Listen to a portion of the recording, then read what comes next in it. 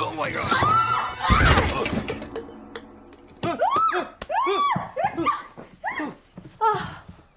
Oh, God. Okay. Oh, I'm fine. You weren't heavy. Lia is having trouble getting sales at her tea shop because people prefer the bubble tea than her cultured type of tea. Which means if her business ain't doing well, she's gonna be having trouble paying the bills too. She was told her sister is getting married and she had to meet her family she left few years back to start her business. The family was so happy to see her again. They invited a fortune teller as the culture demanded, who told Lia that she must go on five blind dates before the wedding or she remains single forever. The family decides to help her get a date, each with their own blind date candidate.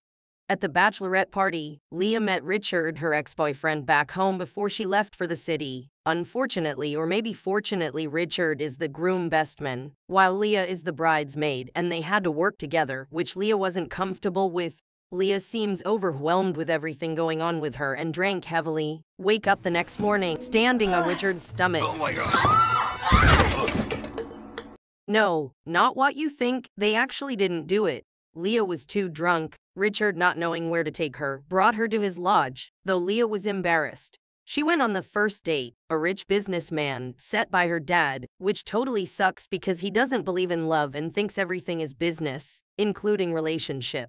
As to she had to go on the dates or she remained single for life and might actually be her ticket to reviving her business. She told her best friend to fix her up ready for the next date, set by her mom, her high school mate, who was also a teacher in her mother's school. It was going well, they felt a bit of connection and they kissed.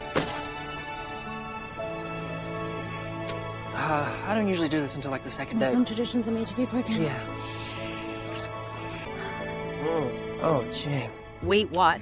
Did he just call her mother's name while kissing her? Oh, Jane.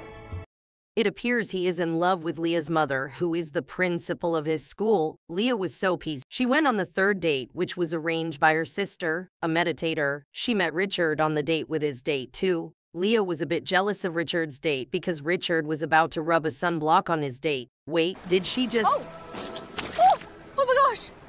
I'm so sorry. Well, the meditator handled it well, while Richard was watching. He also helped Lia overcome her fear of water with his charm, and Lia kissed him, but Lia wasn't totally into him because he was too sweet to be true. Richard was jealous. Lia and Richard argued about how Richard left her when they were supposed to start a business together. Richard might have said something he shouldn't have. Lia was angry, wouldn't accommodate him to at her shop. Even though they had to work together, she went to her sister's wedding clothes fitting with her family. They all talk about Lia's relationship. Also found out Lia's business wasn't doing well, and the fact that Lia's second date loved her mother. They argued about their relationship to each other, they hurt each other with words. Also, Lia was given a quick notice of eviction, and all that probably messed Lia up. That she lashed out at a man who asked her about her D while videoing her on live stream, which made her a popular crazy tea lady in the whole of Australia. Well, that might have had a nice impact on her business because people now wants to know how her tea tastes. She came to certain realization and went to her sister's wedding, apologized to each other, I'm so sorry about your dress. I've been so rotten. You were right. and also realized while giving her wonderful speech that the man of her dream was right in her front all along. So she went after Richard and also learned that Richard doesn't just left her then but had to tend to his sick mother. They kissed and move on to their happy endings.